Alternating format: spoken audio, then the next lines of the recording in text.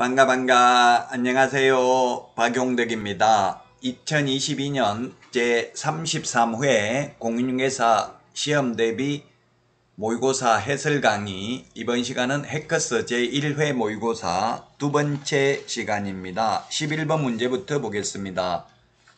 옳은 것은 했는데 1번 개업공개사가 중개사무소 개설 등록 후 6개월 초과하도록 업무 개시하지 않는 경우 등록을 취소할 수 있다. 직접 명문 규정은 없는데요. 해석상 1번이 옳은 내용입니다. 왜냐하면 3개월 초과해서 업무 개시하지 않는 경우 휴업 신고하라고 돼 있거든요. 그러면 6개월 초과하면 무단으로 6개월 초과해서 휴업하면 등록 취소할 수 있기 때문에 무단으로 휴업한 것으로 보아서 등록을 취소할 수 있습니다. 자, 그 다음에 2번은 휴업은 부득이한 사유가 있는 없는 한 6개월을 초과할 수 없죠. 6개월까지는 휴업할 수 있고요. 그 다음에 3번은 휴업신고, 업무재개신고 전자문서 방법으로 할 수 있다 했는데 휴업신고는 전자문서 안 됩니다. 폐업신고도 전자문서 안 되죠. 재개신고, 변경신고는 전자문서 가능합니다. 휴업, 폐업은 등록증 반납하러 가야 되므로 방문신고만 가능합니다. 자, 4번 휴업기간 변경신고 등록증 첨부해야 된다 했는데 이미 휴업신고할 때 반납하고 없기 때문에 첨부할 수 없습니다.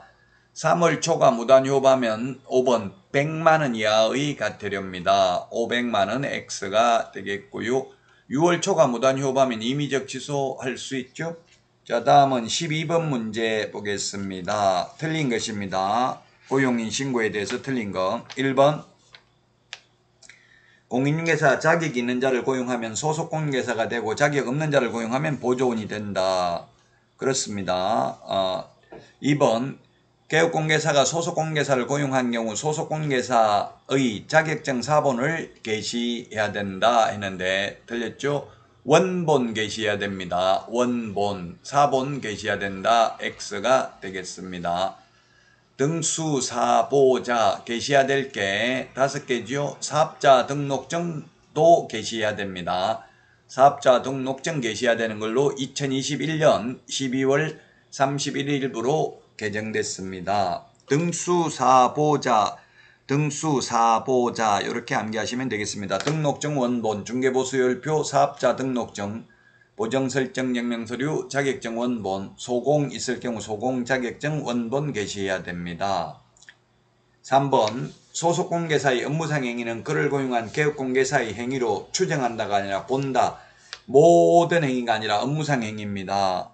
그 다음에 보조원은 직무교육을 미리 받아야 됩니다. 그 다음에 5번 고용관계 종료 신고 사후 10일 이내 해야 됩니다.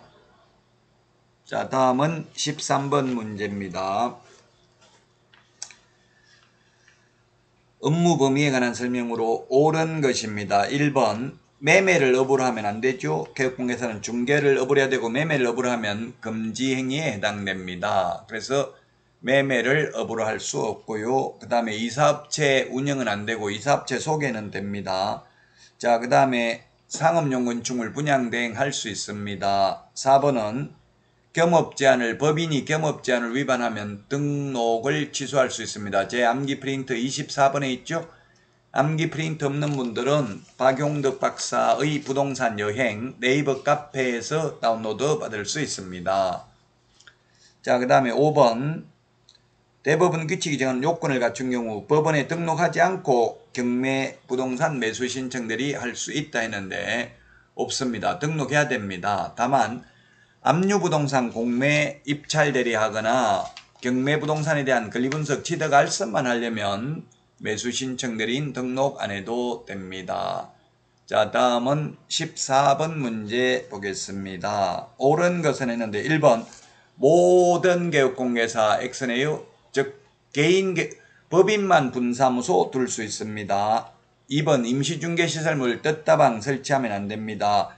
3번 특수법인은 책임자가 공인중개사일 필요 없습니다. 4번 개업공개사는 다른 개업공개사와 공동으로 사무소 사용할 수 있습니다. 다만 업무 정지 기간 중에는 안 됩니다. 물론 정답은 5번이네요. 분사무소를 설, 설치 신고하려는 자는 분사무소 설치 신고서를 주된 사무소 등록관청에 제출해야 됩니다. 우리 암기 프린트 4번에 분사무소 3, 4번의 세 번째 까만별표 분사무소 설치 신고 이전 신고 휴업 신고 폐업 신고 의무정지 모두 주된 사무소 등록 관청입니다. 자, 그 다음에 다음 문제 보겠습니다. 15번 문제입니다. 15번 문제. 틀린 것입니다. 1번 중개계약서는 모두 국토부령으로 규정된 표준서식이 있습니다. 일반 중개계약서나 전속 중개계약서. 그러나 일반 중개계약서는 사용 의무 없는데 전속 중개계약서는 전속 중개계약을 체결하는 경우 사용해야 됩니다. 자, 3번이 틀렸네요. 일반 중개계약서는 보존 의무 없습니다. 모두 X네요. 전속 중개계약서는 3년 보존해야 됩니다. 그래서 3번이 정답이 되겠고요. 자, 그 다음에 4번 일반 중개계약서 서식에는 의뢰인의 권리 의무사항이 기술되어 있고요. 5번 일반 중개계약서와 전속 중개계약서 서식상의 개업공개사의 손해배상 책임에 관한 기술 내용은 동일하다. 그렇습니다. 개업공개사가 확인 설명을 소홀히 하여 의뢰인에게 재산상 손해를 발생하게 한 경우에는 그 손해를 배상할 책임이 있다라고 되어 있습니다. 자, 16번 교육 틀린 것입니다. 1번 자격증 있는 임원 사원에 하나여 실무 교육 받아야 된다. X입니다. 모든 임원 사원, 전원 및 분사무소 책임자, 소속 공개사 모두 다 실무 교육을 받아야 됩니다. 자격증 있는 경우에 하나여 X가 되겠습니다. 자, 그 다음에 2번 폐업신고 이 사정교육 유효기간은 1년입니다. 그래서 교육받고 1년 안에 개업하거나 취직 안 하면 다시 받아야 되고요. 그만두고 나서 1년 안에 다시 취직하거나 개업하려면 교육 안 받아도 됩니다. 자, 3번 지문입니다. 공인중개사가 중개사무소 개설 등록을 신청하려는 경우 등록 신청일 전 1년 이내에 시도지사가 실시하는 교육받아야 됩니다. 유효기간 1년이라고 했죠. 자, 그 다음에 4번입니다. 연수교육을 실시하는 경우 실무교육 또는 연수교육을 받은 날로부터 2년이 되기 2개월 전까지 통지해야 됩니다. 그래서 하고 예방교육은 10일 전까지 공고하거나 통지하면 되지요. 그 다음에 5번 분사무소 책임자가 신고일 전 1년 이내에 실무교육을 받아야 됩니다. 자, 다음은 17번 문제입니다. 포상금 틀린 것입니다. 1번 모두 공인중개사 법령상 행벌, 행정형벌이 규정된 범죄 행위들이다. 포상금 지급 대상은 무부양, 광시, 공시 이렇게 암기하라고 했죠. 7가지입니다. 포상금 지급 대상이 맞습니다. 무등록, 부정한 방법으로 등록 양도되어 개공 아닌 자가 강구한 경우 개업공개사 등이 시세에 부당한 영향을 미치는 행위, 공동중개 제한, 누구든지 시세에 부당한 영향을 미치는 행위, 그리고 광시공시가 있는데 시공시는 3년 이하의 진역이나 3천만 원 이하의 벌금, 무등록, 부정한 방법으로 등록도 3년 이하의 진역이나 3천만 원 이하의 벌금, 양도대여와 개공 아닌 자가 강구한 경우는 1년 이하의 진역이나 1천만 원 이하의 벌금이네요. 2번 검사가 공소제기 기소유예 결정을 한 경우에 하나여 지급합니다. 맞습니다. 무혐의 결정, 공소권 없음, 불기소 처분, 기소 중지되면 보상금 못 받습니다.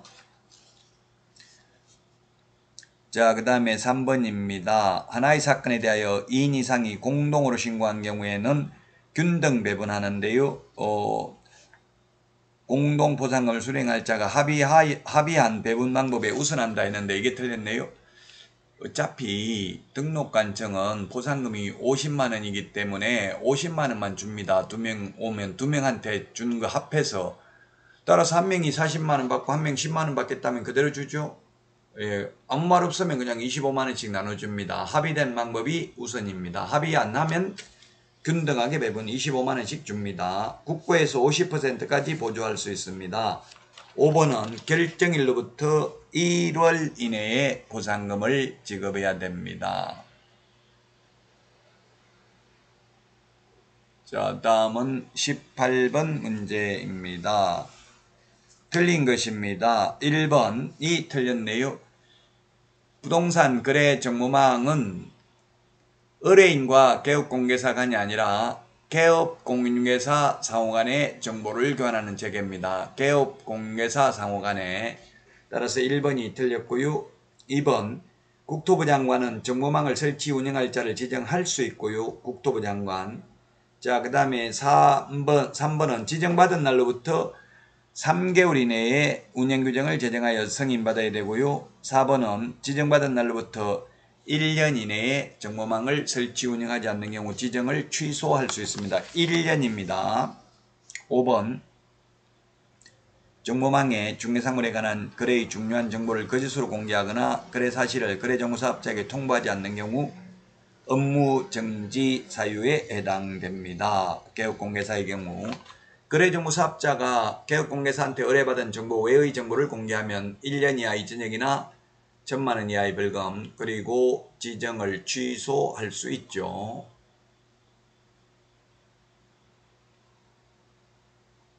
자, 다음은 19번 문제 보도록 하겠습니다. 19번 문제.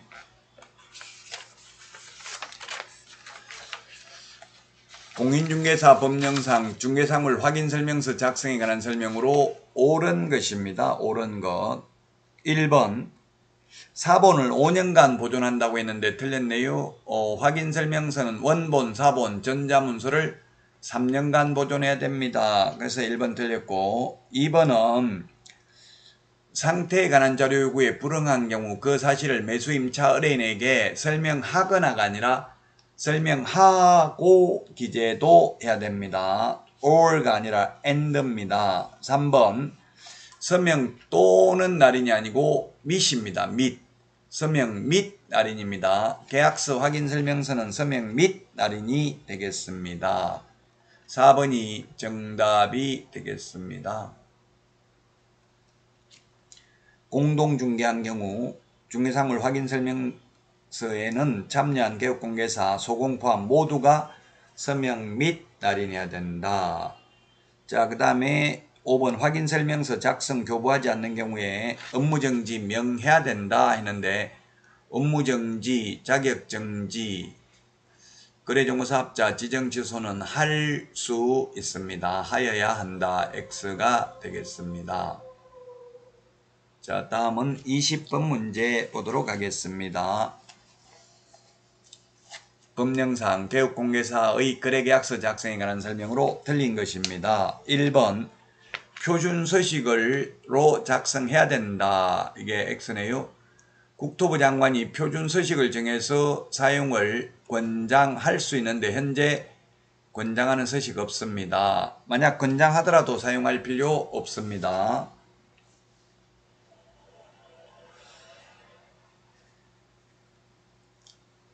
자, 그래서 1번이 정답이고요. 2번 소속공개 당해물을 수행한 소속공개사가 있으면 소속공개사가 함께 서명 및 날인해야 되고 확인 설명서 교부일자 기재해야 됩니다. 반드시. 그리고 분사무소에서 작성한 경우에는 분사무소 책임자가 서명 및 날인해야 되고요. 분사무소 부산에 있는데 서울에 있는 사장이 계약 한 건 들어올 때마다 가서 도장 찍으러 갈 수 없겠죠. 5번 개업공개사가 거래계약서에 거래 내용을 거짓으로 기재하면 등록을 취소할 수 있습니다. 소공의 경우에는 업무 정지할 수 있습니다. 자 여기까지 하고 다음 시간에 이어서 하도록 하겠습니다. 수고하셨습니다. 안녕